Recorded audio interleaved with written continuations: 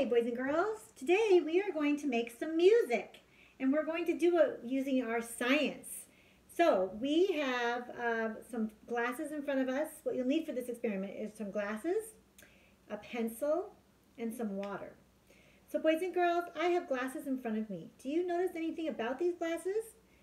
Look at them. They're all the same. They're all the same height and they all are the same width. They're all the same glasses. So when I take my pencil and I'm very gently going to uh, tap the side of it, can you listen, boys and girls?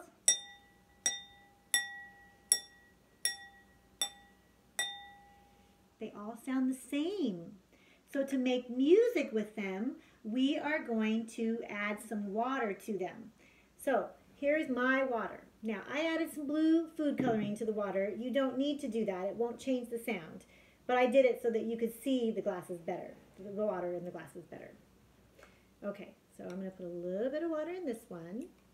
A little bit more water in this one. You might have to have a grown-up help you with this part so we don't spill the water. A little bit more in that one.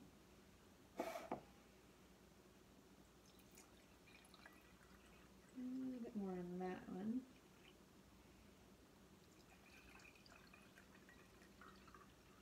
Fill that one all the way up.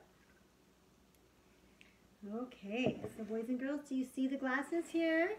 So what has Miss Colleen done? I put water in these and I started with just a little bit of water and I go all the way up until the glass is full. All right, now we're going to take our pencil again and we're going to very lightly um, see if, um, hit the side of it and see what happens. Are you ready? I'm going to spread my glass out just a little bit so I can get to it better.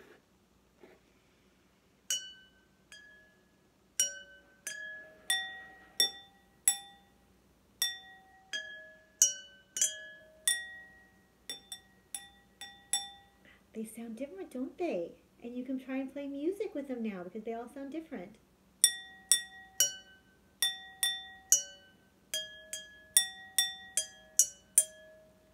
Doesn't that sound neat?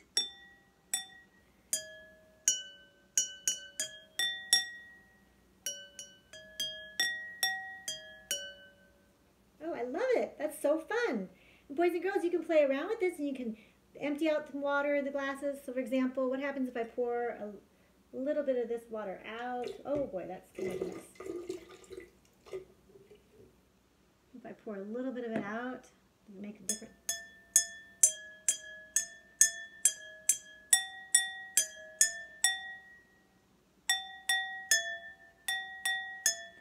That neat? All right, boys and, boys and girls, have fun playing with the water and the glasses and the different amounts of water that you put in there and see what kind of music you can make. All right, bye scientists.